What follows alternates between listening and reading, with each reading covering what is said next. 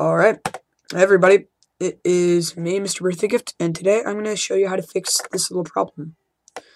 So, um, first thing you do, you open Minecraft and it's going to say launch4j. The registry refers to a non-existent Java runtime environment installation or the runtime is corrupted. The system cannot find the path specified. So, the system cannot find the path specif specified. That means you need to go into computer and the local disk and stuff like I mean not the local disk and stuff like that.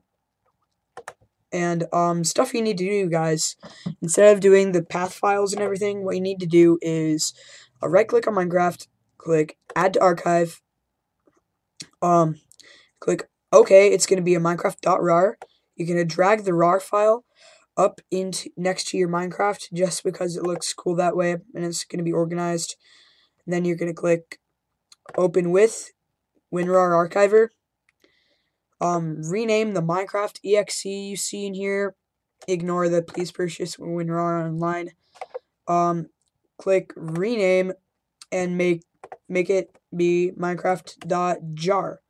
And then once you've done that, you drag it to your desktop and it's going to be automatically extracted. And you open it. And then you watch it run.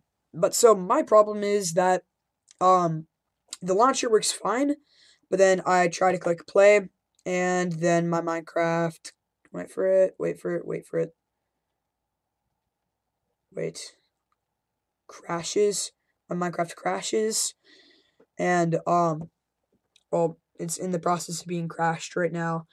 And that's because of bad video card drivers or graphics cards.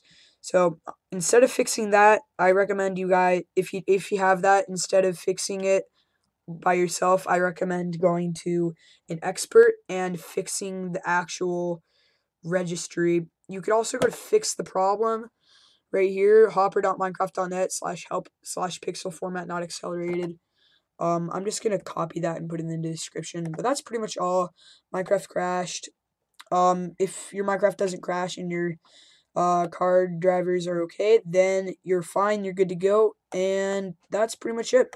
Alright, see you guys, rate, comment, subscribe, and tell me if you have that little problem. Oh, Skyping Daveski.